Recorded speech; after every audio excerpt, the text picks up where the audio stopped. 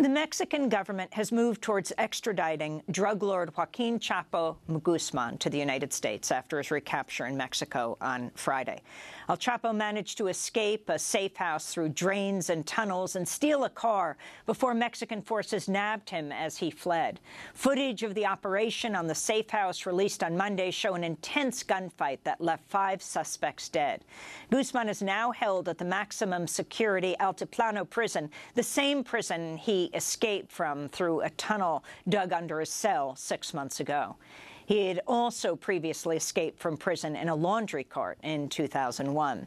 The United States had sought to extradite him before his most recent escape, but Mexico refused. The embarrassment of Guzman's getaway last year has raised pressure on the government of President Enrique Peña Nieto and sparked questions about its vulnerability to corruption. Guzman is said to have been aided by paid informants and accomplices on the inside, but his capture this time may have been his own doing. Mexican authorities say they were helped in their investigation by Guzman's communications while in hiding, including with actor Sean Penn. Guzman apparently agreed to do an interview with Penn for Rolling Stone as part of a bid to turn his life story into a movie. He also reportedly had a strong personal interest in the Mexican actress who arranged the meeting, Kate del Castillo. In this excerpt from Penn's interview, Guzman responds to a question about the harms caused by drugs. Bueno, eso es una realidad. Well, it's a reality that drugs destroy. Drogas. Este, desgraciadamente, como le comento, Unfortunately, as I said, where I grew up, there was no other way, and there still isn't a way to survive. No way to work in our economy to be able to make a living. Guzman is challenging his potential extradition to the U.S., a process that could take well over a year. His drug cartel is said to be one of the most powerful in the world, but it's unclear how much of an impact his arrest will have on a drug war that's killed tens of thousands in Mexico over the past decade. Advocates say if sensible drug laws were established in Guzman's chief market, the U.S. drug lords like him would not be in business. Well, for more, we're going directly to Mexico City, where we're joined by two guests. Laura Carlsen is director of the Mexico City-based Americas program of the Center for International Policy. And Elena Poniatowska is with us, founder of the newspaper La Jornada, one of Mexico's most beloved writers. She is the recipient of the Cervantes Prize, the most prestigious literary prize in the Spanish language. We welcome you both to Democracy Now!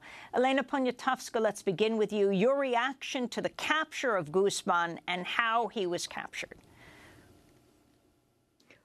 No, well, he's the king of tunnels, as you can see, and he was captured. I think he was followed by the Mexican government. Everything, every, way, ever since he he uh, when he flew away the first time, no, and it's been uh, they uh, they treat it they treat this event as if, as if it was a national victory, which is it is not. It is only I. It is only something that distracts uh, Mexico from uh, the politics, the bad politics of a bad government.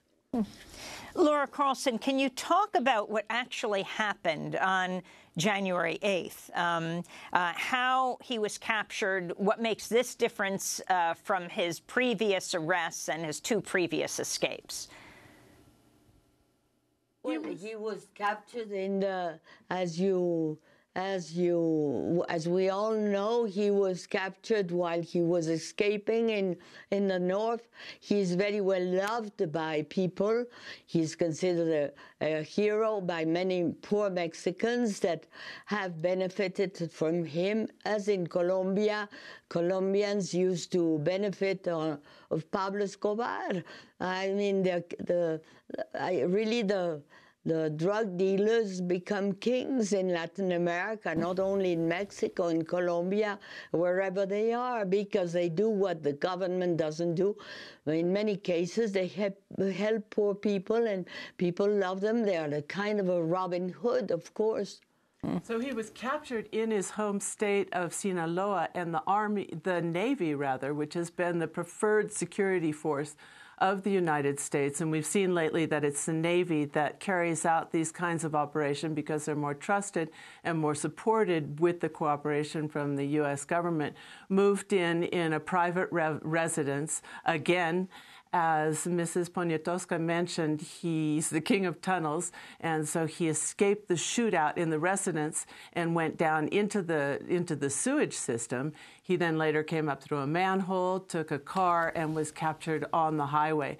And one of the big differences we see in this case compared to the capture previously in 2014 which many people, including myself, thought was probably the result of a prearranged agreement is that he was really on the run.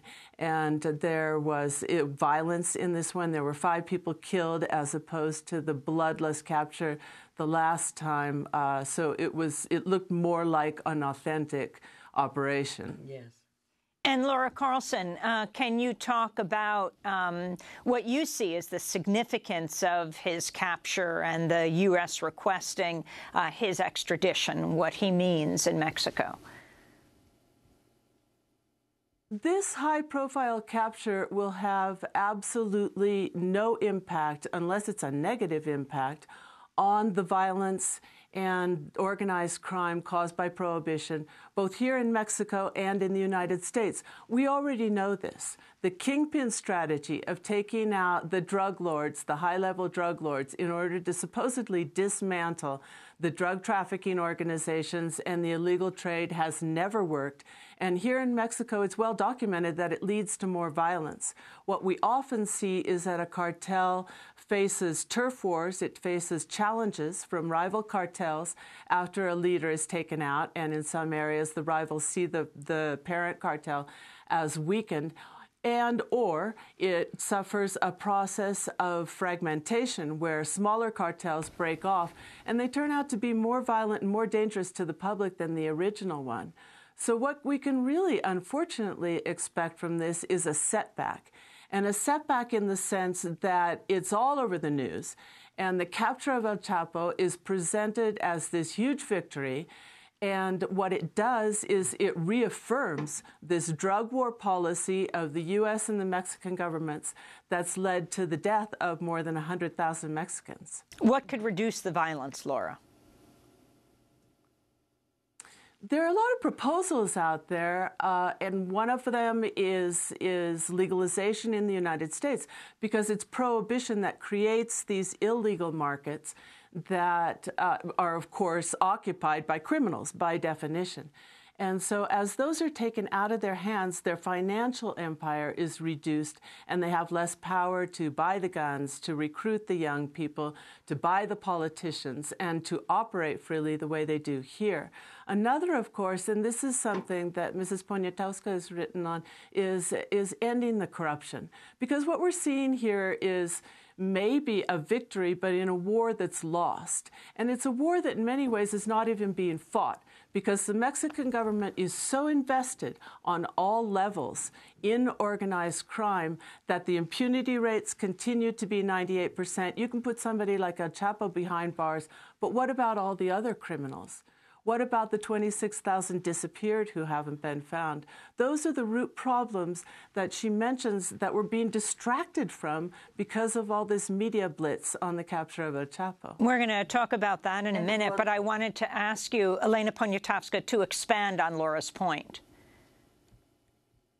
Well, for the Chapo, it's worse. It's very bad for him as a man to be in prison in the United States because in Mexico you can get away from prisons very easily and he can do it better than anyone else. And besides, prisons in Mexico are very different from the prisons in the United States.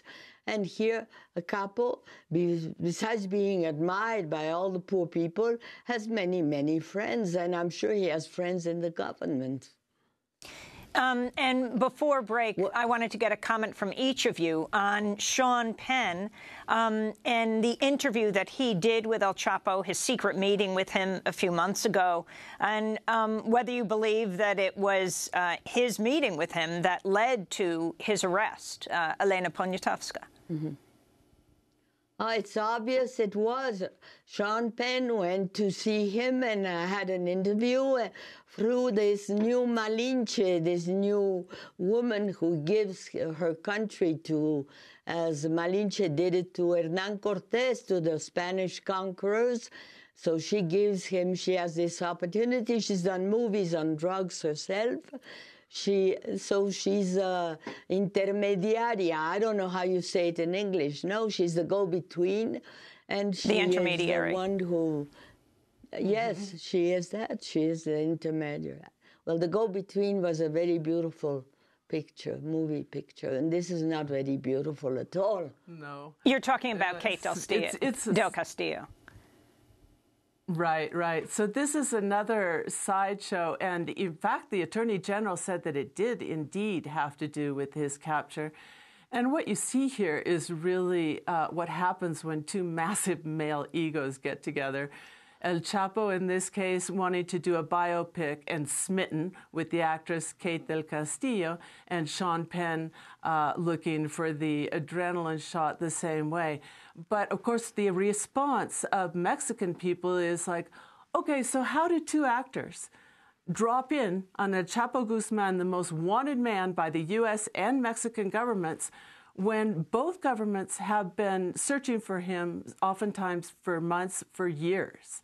And again, that raises the question that the capture of El Chapo has never really been about how and these complicated and sophisticated operations, but simply when. And that's why Mexican people are so skeptical about the timing of this and the fact that it could really have a lot more to do with raising the image of the uh, President Enrique Peña Nieto than with any huge victory in the drug war. Although Hollywood's been a buzz about Sean Penn's interview with El Chapo, some have begun to question the ethics around the article, which was published by Rolling Stone. Speaking at the Golden Globes, actor Alan Cumming questioned whether the article was really journalism or a celebrity stunt aimed at securing the rights to a biopic. But I don't know that it's. I don't understand how he and Rolling Stone kind of sanctioned him going to meet that guy who was a, a, a wanted fugitive and, and then that then not to tell the authority. I, I, don't, I don't really know enough about it yet, but I, I do think it's a bit dodgy, and I'm not sure that I think the idea of newspapers or magazines allowing correspondents to go and talk with people who are wanted for very heinous crimes. And you know, I don't know. It's just, and especially someone who's a movie star. I, the whole thing is a bit weird, but I'm sure it'll make a great film. I, maybe I'll play Sean. Or maybe I'll play El Chapo. I could do El Chapo. I can get a tan. I could pull it off. Me and Cate Blanchett could do it. She could play Sean, I'll play the drug dealer.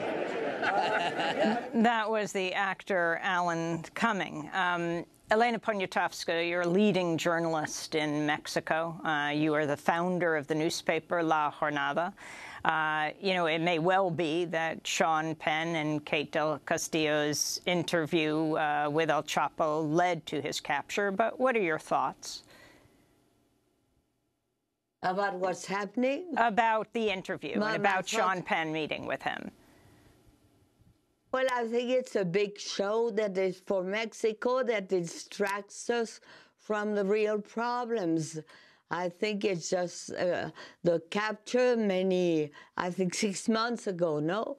It was was an uh, was really uh, good news. It was news, and now it's just a story that you make up uh, for magazines. That's what it is, no? Afterwards, it will be a story for jokes, and it's a story.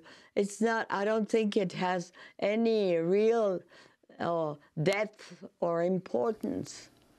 Yeah, I think the journalist ethics are highly questionable here. And in fact, I don't think that this started out or principally was a journalistic endeavor. I don't think that the article had really much to do with this meeting. This was about getting together a producer, because Sean Penn is primarily an actor and producer, not a journalist, and you can tell that by reading the article and an actress, a beautiful actress, to talk about doing this biopic. So that raises even more journalistic questions. Yes. We're going to go to a break, and when we come back, we'll continue with our discussion. Laura Carlsen, thanks for joining us, Center for International Policy. And Elena Poniatowska, we'd like to ask you to stay with us as we talk about the politics of Mexico. After that, we will come back to New York to speak with the man who filmed the death of Eric Garner. The only one to be criminally charged in Eric Garner's um, in this case are not the officers, but the man who filmed the death. Stay with us.